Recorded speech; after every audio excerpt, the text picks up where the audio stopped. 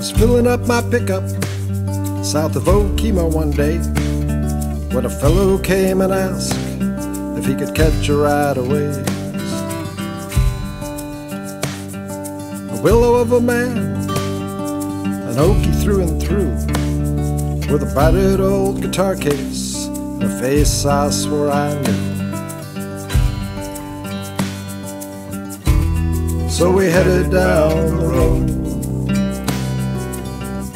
spinning lies and swapping jokes, bound for San Antonio.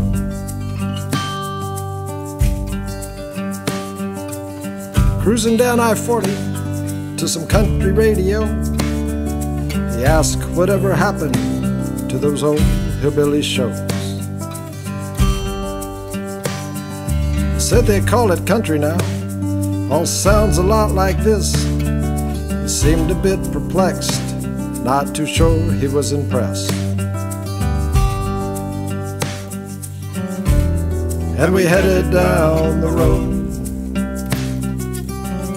spinning lies and swapping jokes, bound for San Antonio.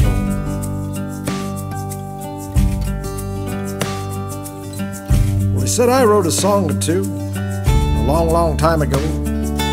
One about this country. Kids still sing it, so I'm told. It's called This Land Is Your Land. You might have heard it once or twice. I said, My God, you're Woody Guthrie. He just said, That's right. And we headed down the road spinning lies and swapping jokes. Me and Woody's ghost. Well, damn, just think about that song. He told me with a sigh. Folks don't sing all the verses. I really don't know why. Most folks skip the ones that talk about the poor and the people left forgotten on the wrong side of the door.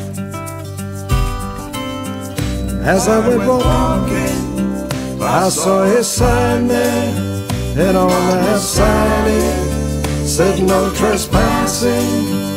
And on the other side, didn't say nothing. That sign was made for you and me. In the shadow of the steeple, I saw my people. By the relief office, I see my people. As they stood there hungry, I stood there asking, Is this land made for you and me? Well, after we'd been on the road about an hour or two, Woody asked me to pull over, said right here'll do. There's nothing here for miles around, I noted with surprise. Got the urge to write a song, he said, with a twinkle in his eyes. Heading made me promise this to teach those verses to my kids. Then guitar case in his hand, he was bound for glory once again.